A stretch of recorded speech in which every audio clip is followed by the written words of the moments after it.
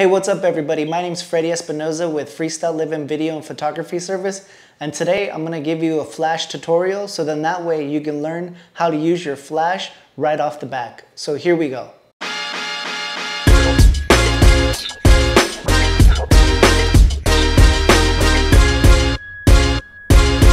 So the first thing you're gonna wanna do is make sure your flash is working right from the get-go before you put it on your camera. So let's go ahead and turn our flash on.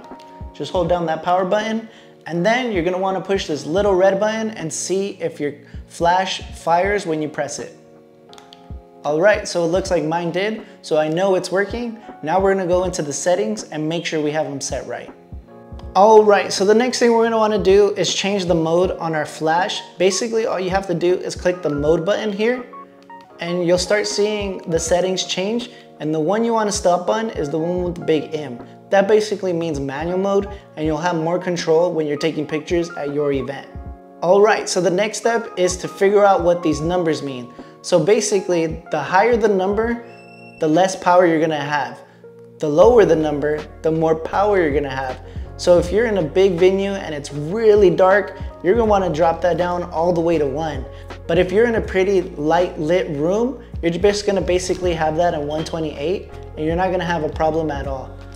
So just go ahead, when you have that on your camera, that's where you're gonna wanna be making adjustments by just twisting your knob or pressing up and down on your buttons, and that's gonna change your power settings. So you can go ahead and test that right now if you like. All you gotta do is hit your button at 128 and then you'll see the power is very soft.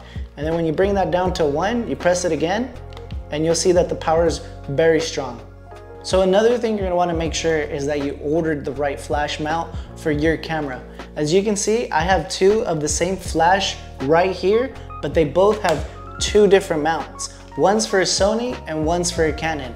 If yours isn't right for your camera, it might not work, but sometimes you can mix and match them. Like this Canon one, I can put it on my Sony, and this Sony one, obviously I can put it on my camera with no problems.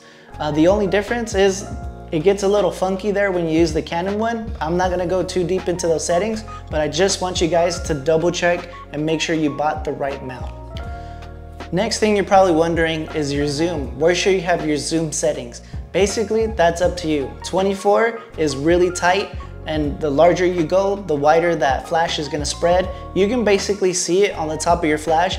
As you're changing your zoom, you'll see it go from really wide to really small. So go ahead and click your zoom button and then spin your knob and you'll start seeing that thing change. See, that's really wide and that's at 70. And then when I bring it down in to 24, it brings it up pretty tight, pretty small. So just go ahead and mess with it on your camera.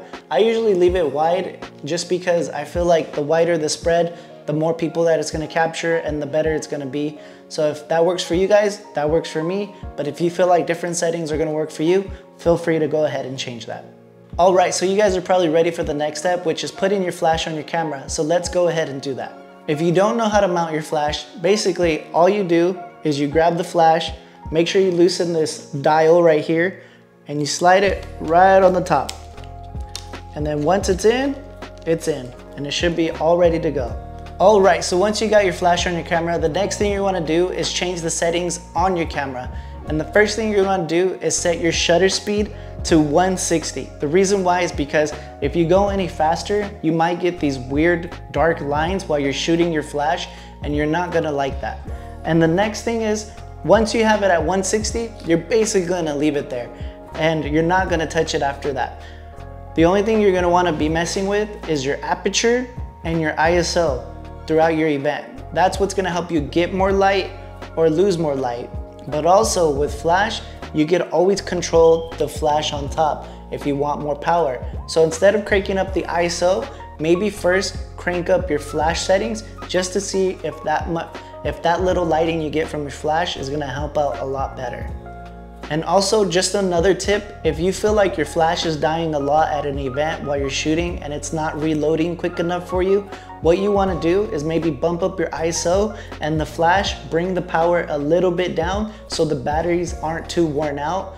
Because if you have a power as low as one the whole time, you're gonna burn through those batteries pretty fast. And it's best for you to have it at a mid-range, which could be like eight or anywhere in between those numbers. Um, if you have it at 128, that's perfect because that's the lowest you can go. And honestly, it's gonna save you a lot of battery power. So if you tried to pull the trigger on your camera already and try to see if your flash would take a picture and it didn't, there's probably a few reasons why. The first reason is gonna be because on your settings on your camera, you probably have your flash setting turned off. So you're gonna wanna go inside your camera and turn that on. I'm gonna go ahead and show you the icon that's on mine and yours is gonna pretty much look close to the same thing. So here we go, this is my function button. I go ahead and click it, as you can see, the flash icon is here. It's actually turned on already. So what I'm gonna do is go ahead and click it and show you maybe what yours might look like. If yours is this one on top, with the circle and the lightning bolt through it, then that means you need to go ahead and turn it on and you gotta put it where the lightning bolt and the arrow's pointing down.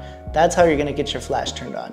One tip I have for you guys is never point your flash at the clients like this. The reason why is because you're gonna get like a beginner style flash and it's not gonna look too good. I recommend you point it to the ceiling and then power that to bounce off the ceiling onto your subject. The reason why is because it really evens it out and it looks 10 times better. Trust me, go ahead, mess around with your flash right now, go around your house, take pictures of your family, your friends, your husband, your wife, whoever you're around, and go ahead and test that um, setting with this pointing to the ceiling and trust me, you're gonna see the big difference.